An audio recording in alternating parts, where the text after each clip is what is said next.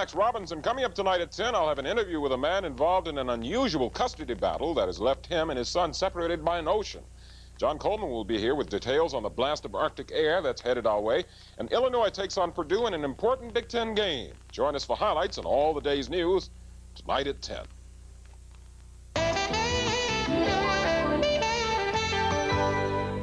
Sit, Ubu, sit. Good dog.